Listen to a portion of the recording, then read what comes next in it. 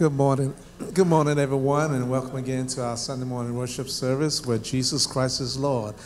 We do appreciate all the happy, smiling faces that are here today on this wonderful, wonderful morning to worship our Lord and Savior. If you would at this time, if you all would just join us and stand as we have the call to worship. Thank you so very much. Great is the Lord and greatly to be praised. The presence of God is the joy of the earth. Let the children of Judah rejoice. God will be our God. Amen. Amen. Praises rise and eyes are turning to you. Here we go.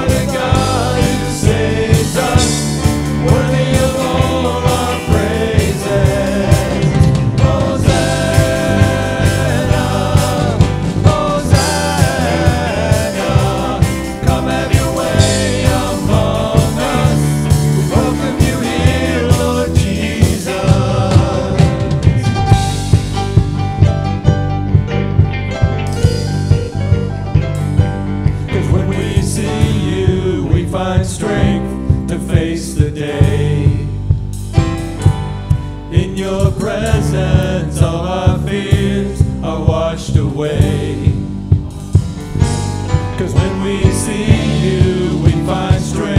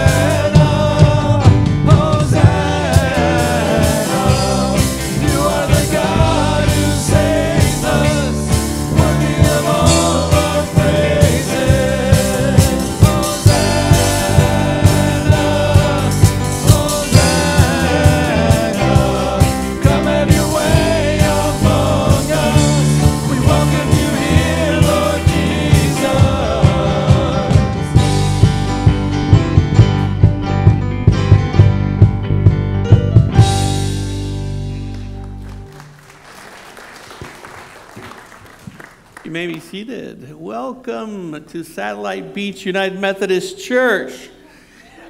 Amen. I'm a first time person here, and as far as I'm concerned, all of you are first time people here as well because you're new to me. So please sign in on the attendance sheet pads and pass them down the pews and make sure you sign in and let everybody know that you're here so that we can keep connecting with one another in the name of Jesus. Amen. Um, we are so excited that today has come.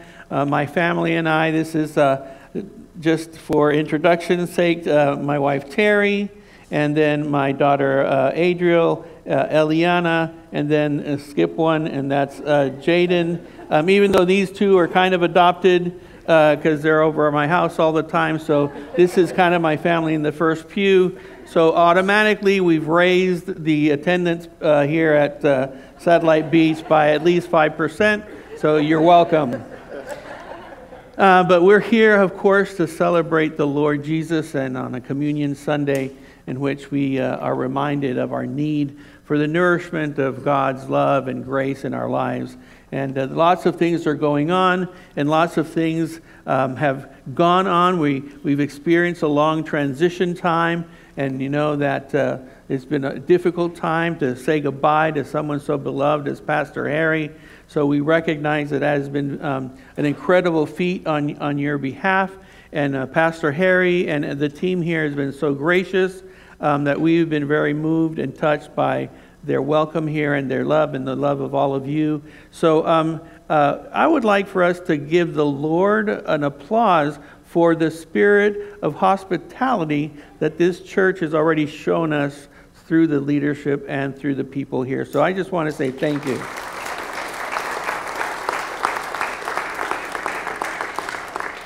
And so let's um, go ahead and uh, remind you that uh, our prayer focus today is our nation. And I hope you all had a safe and wonderful 4th of July. And um, the VBS is July 22nd through the 26th, and we need volunteers.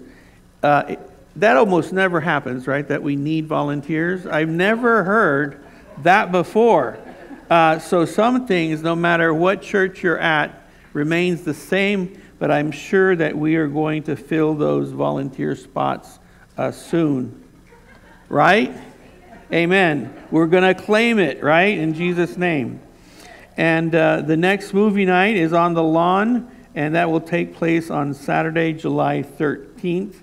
And I'm excited about those movies on the lawn. I love that. That's great. Um, we can, do we have popcorn?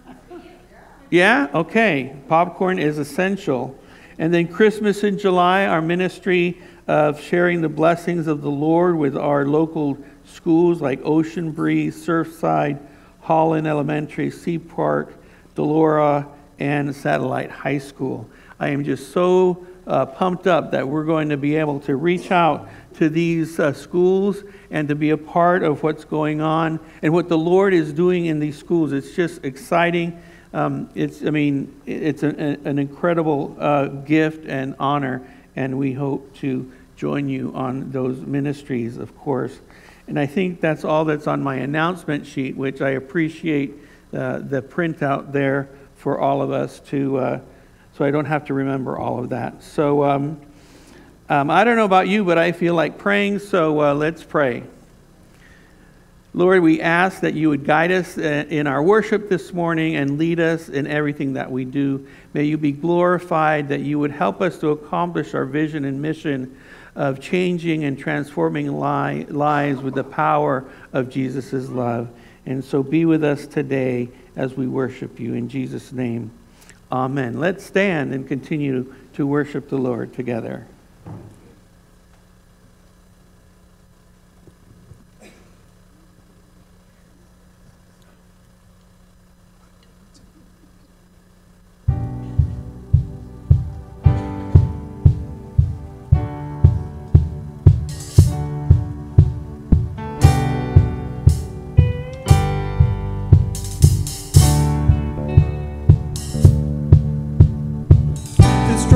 desert land I tell myself keep walking on.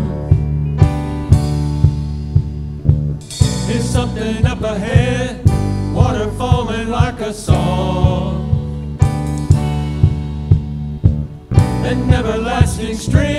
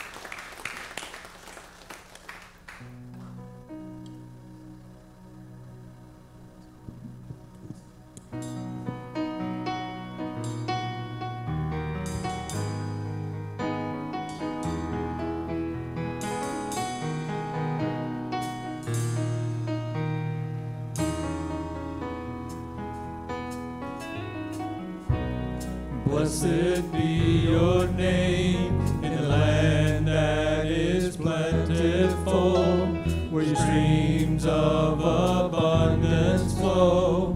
Blessed be your name. Blessed be your name when I'm found in the desert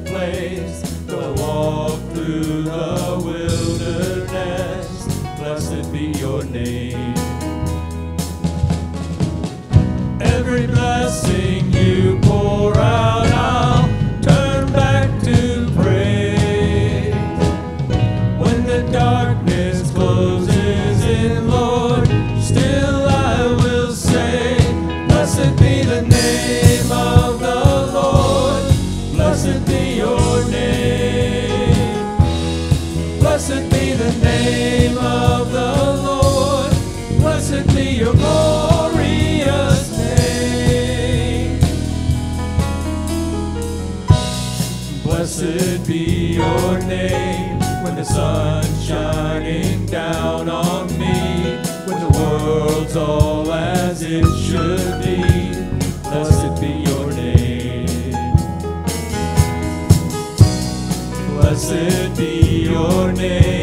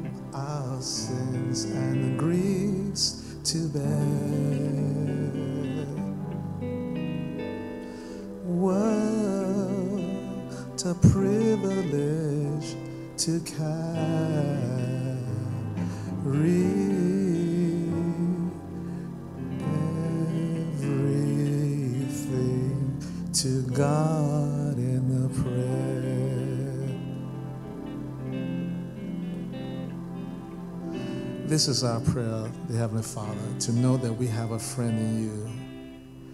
And without you, we have no one else to lean on. We have earthly friends, we have family, but there's none that sticks closer than you. And we just want to thank you for your love and mercy and grace toward us. We want to thank you for being our friend because if we have no one else to go to, we know that you're there. So we want to take this time and say thank you, Heavenly Father, for allowing Jesus to come and sacrifice his life for us, giving us another opportunity again and again for eternal life. So as we stand here today, every soul that's represented, we ask that your love and mercy will shadow over our spirits. Make us one with you and in a purpose. We serve you because of that magnificent love that you share with us over and over. Make you a friend that's sticking closer than a brother. So at the end of this service, when we leave this place, Heavenly Father, we will realize that we're leaving with a friend. We thank you and we ask that you hear and accept our prayer this morning. In the name of Jesus, we pray.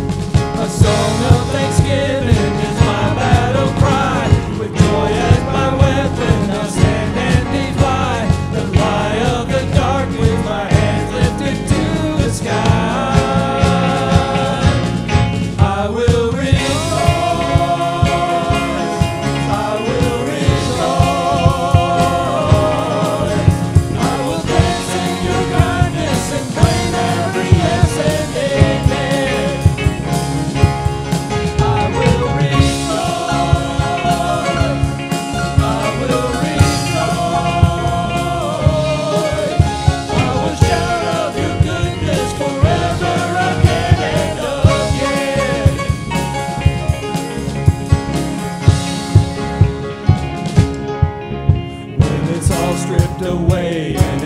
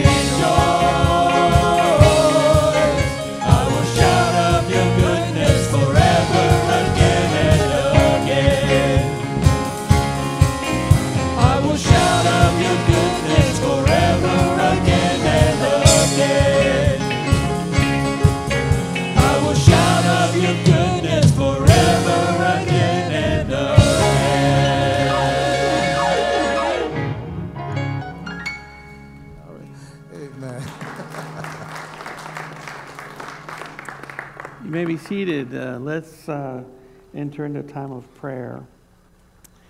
Thank you, Lord God, for all of your blessings today.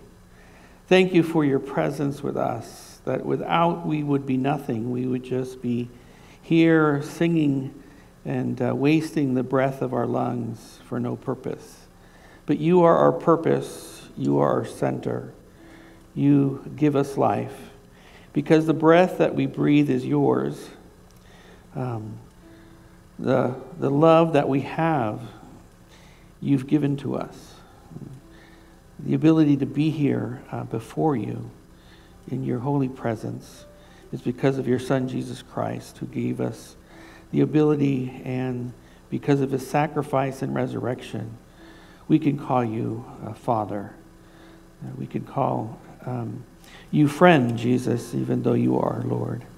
And so we come to you this morning with our prayers and with our praises. We come lifting up the nation and all of its troubles and divisions and strife, that you would bring unity and peace and wisdom to our leaders.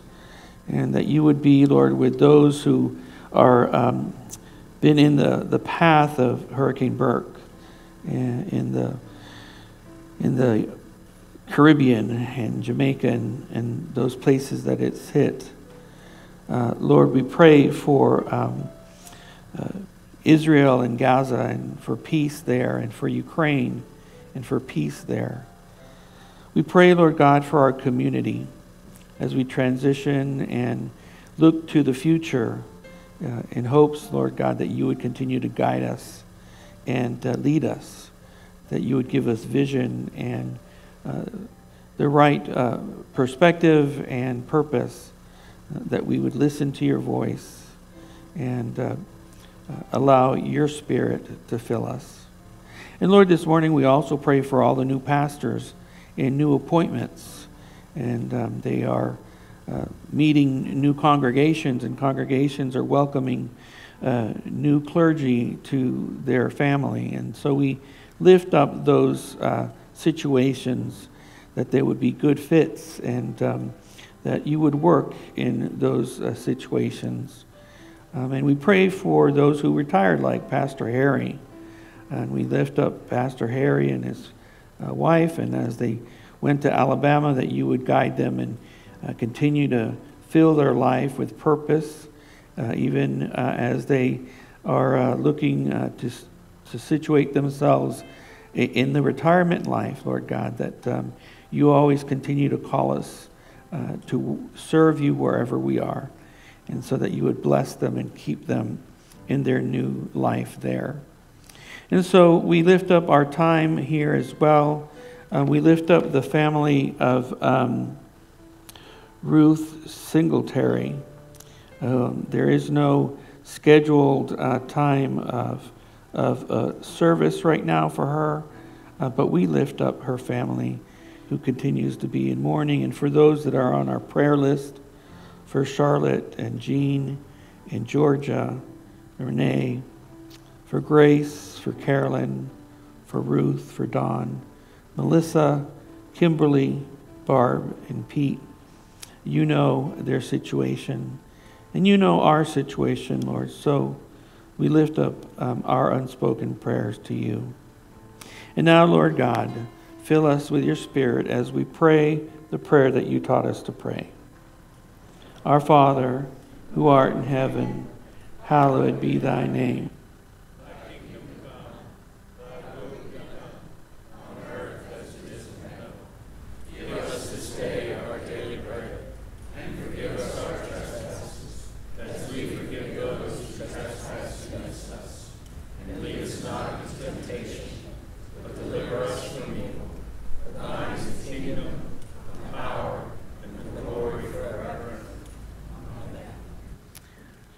It's uh, children's church time.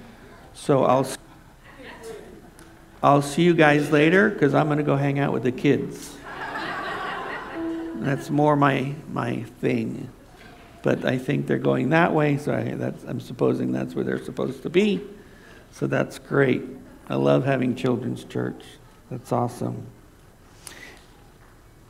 And so we come to the time of our offertory.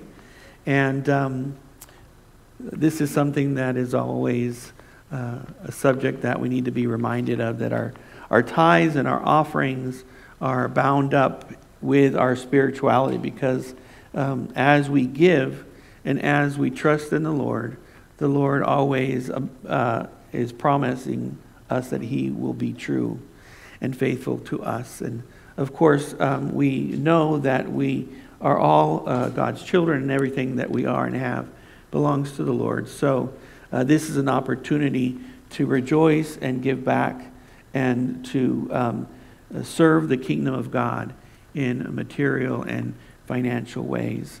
And um, you all, sure, have heard that we do need some uh, help in that area. And uh, we, we just uh, bought a new parsonage. Thank you very much. It's a very incredible gift for us. Thank you for everyone who um, participated in that. And we're slowly moving in and we're painting the place and um, trying to get all of our stuff moved over. And then now we're trying to sell the old parsonage.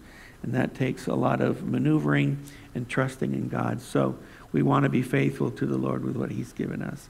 So um, have the ushers come forward and let's pray for our offering. Lord, receive thou now these gifts as a token of our appreciation, of our gratitude, that you have given us all that we need, more and abundantly and above and beyond all of what we could think of. And Lord, when we struggle, Lord God, to trust in you with our lives and our finances and in our service, that we would realize that uh, the bountiful blessings of giving to you and to your kingdom always return tenfold to us because you are a good God. And so bless these tithes and offerings that we're about to give. May they go forth to bless your kingdom and use them according to your will wherever you believe they belong. And we ask these things in Jesus' name. Amen.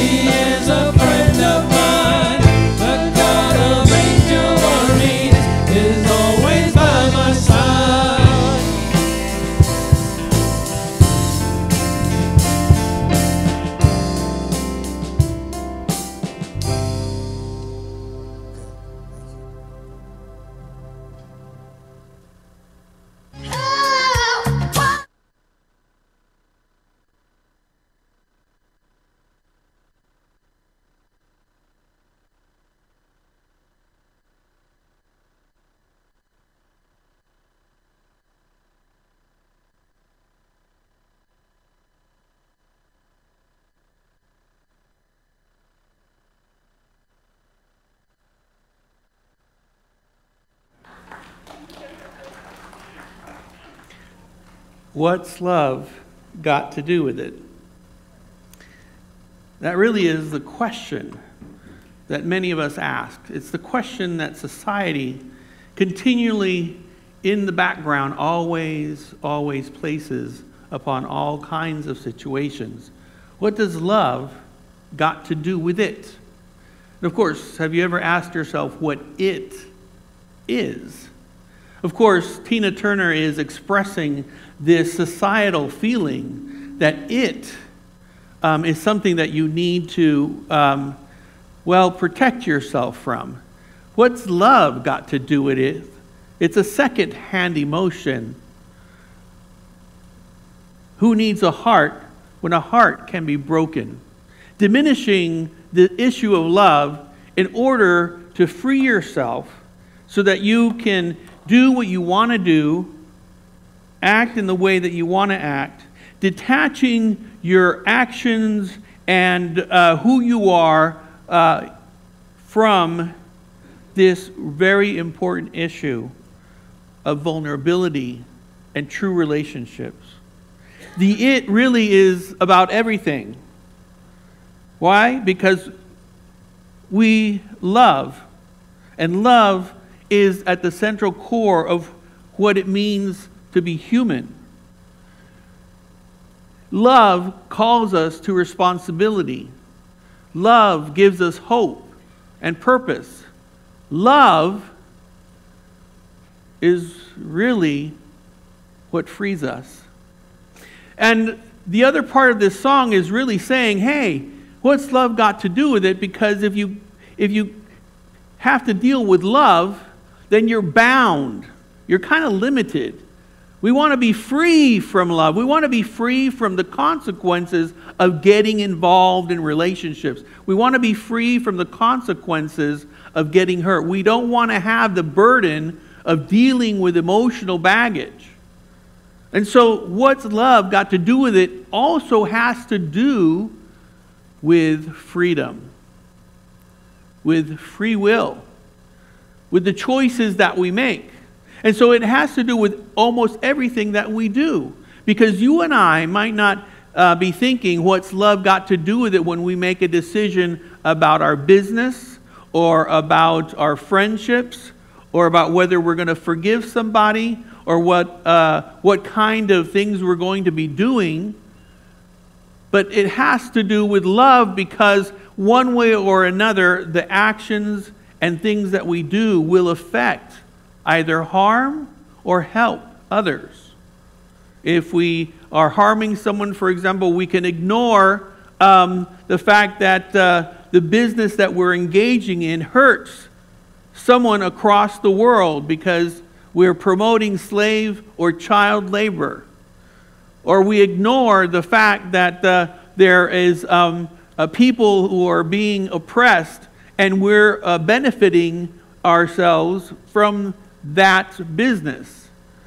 Or even the not wanting to forgive someone when that person is trying to reconcile with us. That is and is all about love. And it's about our free choice to not love. And you see, love and freedom, love and our free will are bound together because to truly love, you must be truly free. So we can ask this question two other ways. What's freedom got to do with it? What does freedom have to do with love? What does love have to do with freedom? And that's what the text this morning of Galatians 5 is going to address. We're going to read verses 1 and then verses 13 through 18. But I advise you to read the whole chapter. Galatians 5 1, 13 through 18. For freedom, Christ has set us free. Stand firm, therefore, and do not submit again to the yoke of slavery. For you were called to freedom, brothers and sisters, only do not use your freedom as an opportunity for self indulgence, but through love become enslaved to one another. For the whole law is summed up in a single commandment you shall love your neighbor as yourself. If, however, you bite and devour one another, take care that you are not consumed by one another. Live by the Spirit. I say, and do not gratify the desires of the flesh. For what the flesh desires is opposed to the Spirit, and what the Spirit desires is opposed to the flesh. For these are opposed to each other to prevent you from doing what you want. But if you are led by the Spirit, you are not subject to the law. Let us pray. Lord, give us insight to your word. Speak to our hearts. May we be conformed and transformed by the renewing of our mind, that we would be united with you in knowing what you want and allowing you to change us, to mold us into the image of Christ. In Christ's name we pray. Amen. Do you see how both of these things go together? It's clear here that for freedom, Christ has set us free. It's not only that, but verse 13 says, You were called to freedom. And you see, so what does love got to do with it?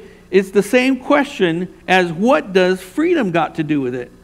What does freedom got to do with it? Because everything we do has to do with our free will, with your choice and my choice to either do what God wants us to do or ignore God's presence and God's guidance, to ignore the Spirit of Jesus or to follow Him. You see, it says for freedom. That's an interesting phrase. For freedom, Christ has set us free. For freedom, Christ has set us free. What is this freedom that Christ has set us free for? Well, it's the freedom of being able to have our free will reinstated by the blood of Jesus Christ. The blood of Jesus Christ on the cross, that he died and rose again, so that you and I could really be able to have our free will intact. We were created with the image of God within us. And you see, God is the free agent of free agents. God is free. We know that God is love, but you see, for God to be able to be love, God must be completely and perfectly free. There is no love without a complete and perfect free will. And it's the same for you and me. But God loves perfectly. God is good. God has chosen to share himself with us. And, and, he chose Abraham. He chose to share the, the, the law with the, the Israelites. He chose the people of Israel to represent him. And they were called holy. They were set apart because God chose them in love. Now, they believed, as Galatians goes to say previous to this chapter, that the law was meant for them to be able to like make deals with God. That at this point in time, they were thinking that, well, things haven't gone well. What we need to do is continue to make deals using the law, kind of like a magical incantation. If we do what we're supposed to do, then God has to do what we want Him to do. He must act and behave in the way that we expect Him to behave. Not unlike what you and I sometimes think about God in today's world.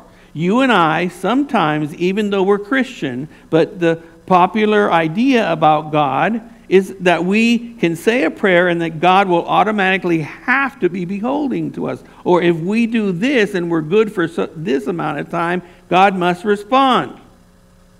But you see, God doesn't respond to us because we are good.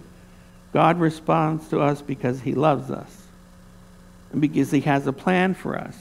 And that even though we might be misguided and a little bit off, even though we fail uh, and fall, even though we make all these promises and, and we have lots and lots and lots of times when we say, God, I'll be uh, your follower, I'll, I'll do what you want me to do, and we still fail, God still searches us, seeks us out, never leaves us or forsakes us. And see, Jesus came to say, Yes, God shared his will and his way with us, but now I'm going to show you that God is a free will agent, but is also love.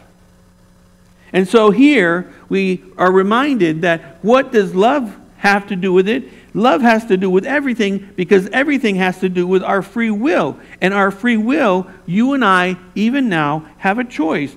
Do not use our freedom to be submitted again to slavery. Do not use your freedom for self indulging. Do not use your freedom to gratify the desires of the flesh. This is the very point of the song. What's love got to do with it? Eh, we don't want love to have anything to do with it because we want to be able to do what we want and not suffer the consequences. And um, we don't want to have the pain, right? Who needs a heart when the heart can be broken?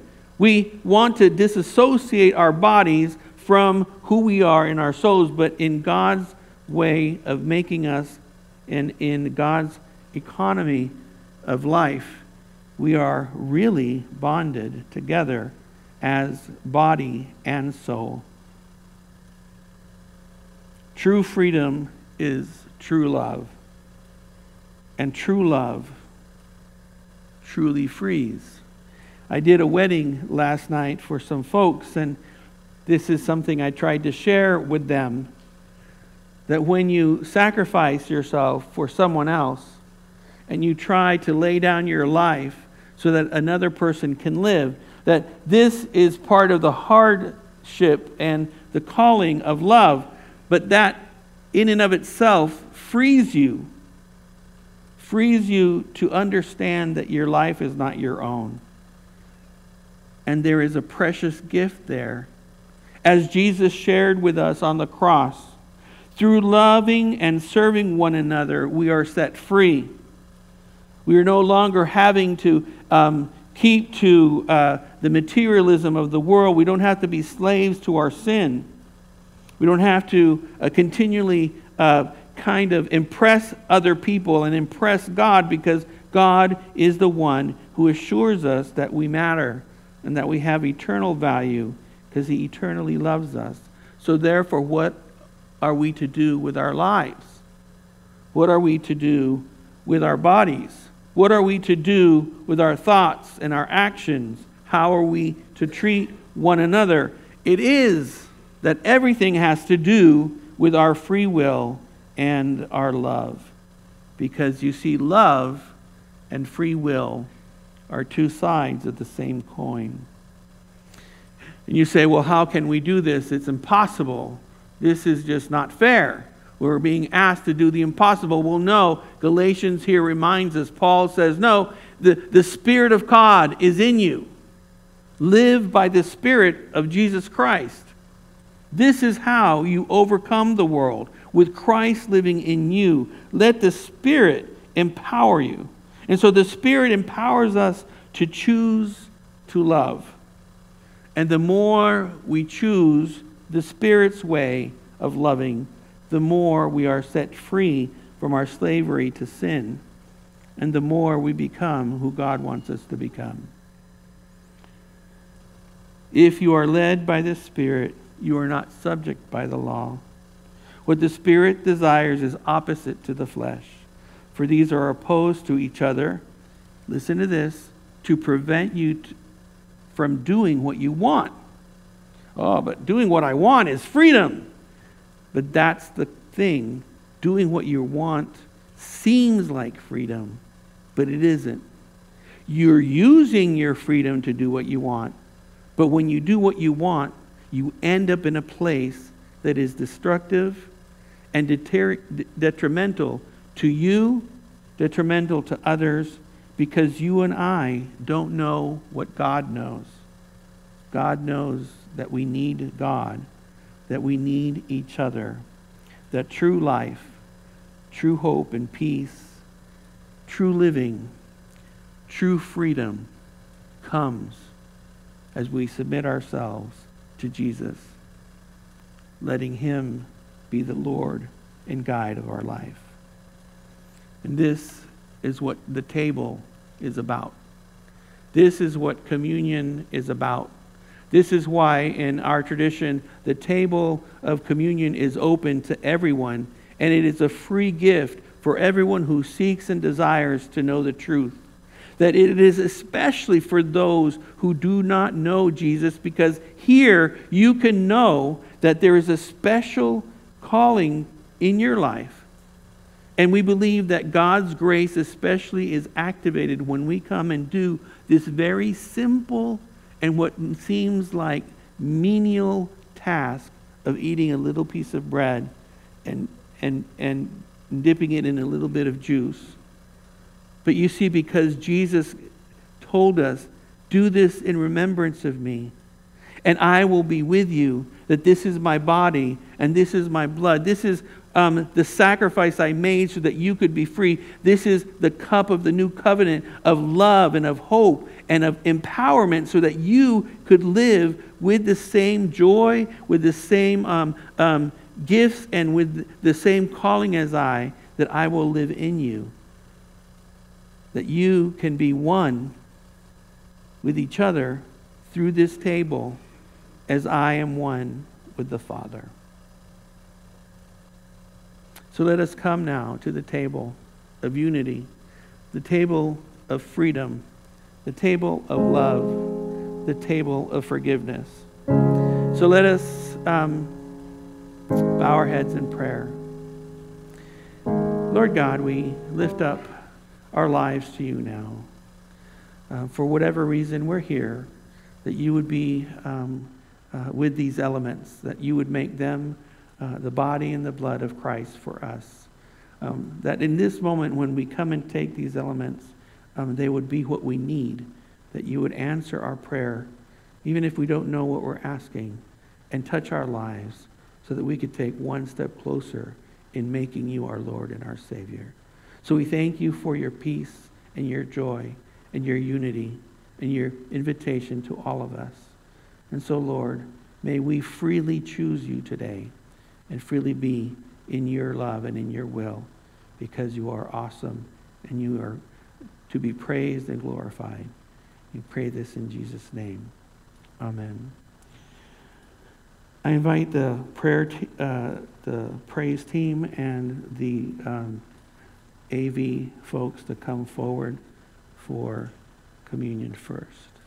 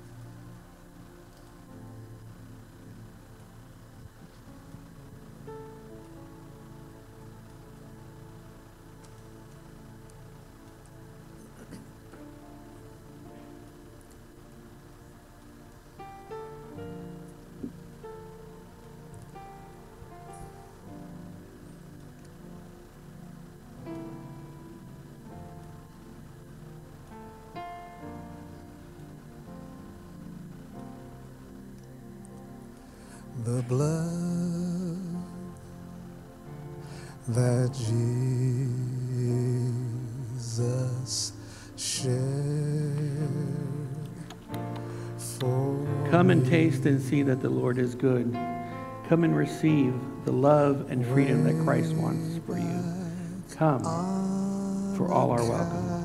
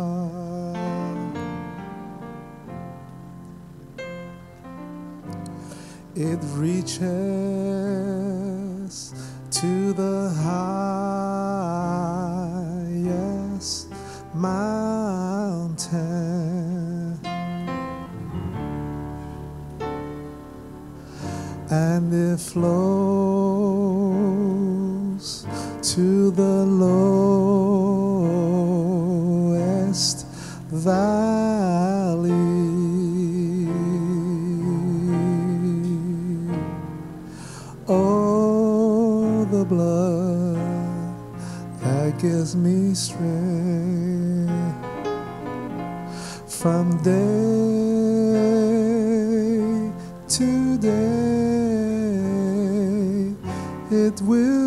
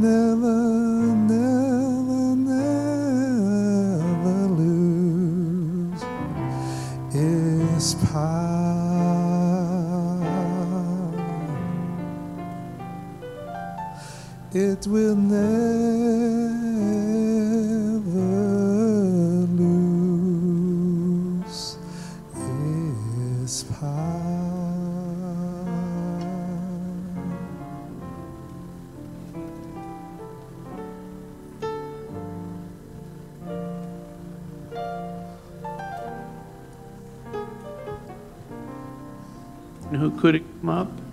Who might need us to come to you?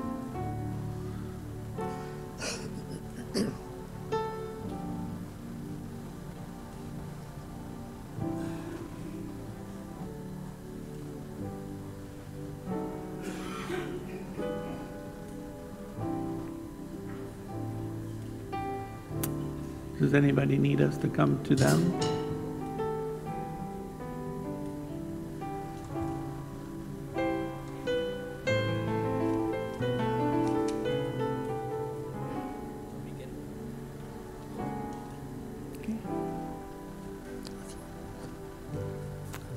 Stand and sing our closing song.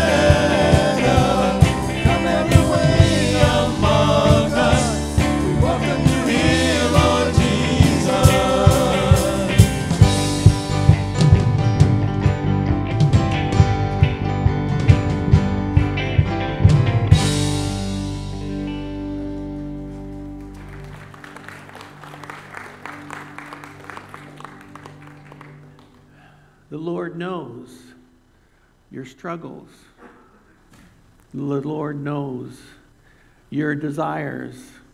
The Lord knows what you fear and what you love.